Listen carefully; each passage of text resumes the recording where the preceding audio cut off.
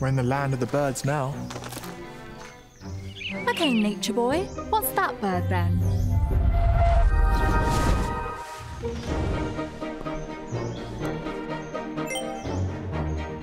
It's a male finch.